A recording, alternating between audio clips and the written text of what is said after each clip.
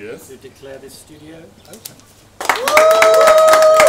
The day was all set for the launch of the youngest station in town, Switch TV, whose target audience are youths aged between 18 years to 35 years, was officially unveiled today. A study conducted by the research firm Millward Brown established that although there is sufficient content on TV, it is scattered in different channels and caters for the general audience.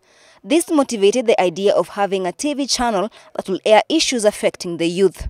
University, many of them drop out before they go to secondary school. What happened to these young people? They end up in gangs, in violence, and the social problems we talk about. So a station of this nature is meant to really be their station where we want to make a difference in their lives on a daily basis.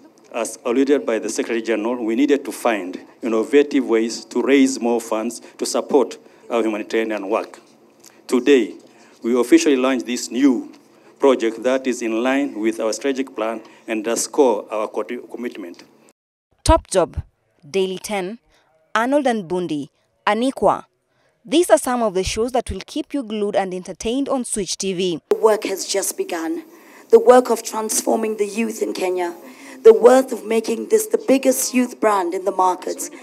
And entertain and empower the youth in Kenya. With more than half of the Kenyan population made up of people under the age of 18, the unanimous sentiment from those present was that the youth are the leaders of today. 18-year-olds, if they're in the middle, what kind of role are they playing? How empowered are they? How much are they shaping this country's future? My answer to that would be not enough. Currently, there are over 50 television channels in the country. Switch TV hopes to empower their audience as well as educate it. It took 16 months to actualize the vision of the station and today, Switch will be your one-stop shop for news, entertainment and sports with a difference.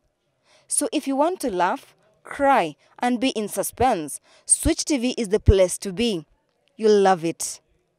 Dana Rose, Switch TV.